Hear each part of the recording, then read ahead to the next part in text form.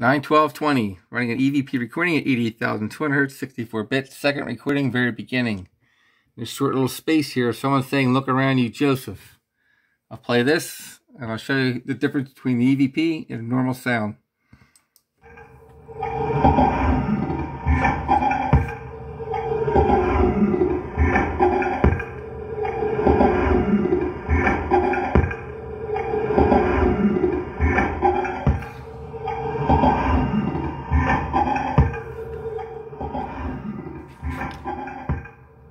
Normal sound, the sound slow from the frequency increase.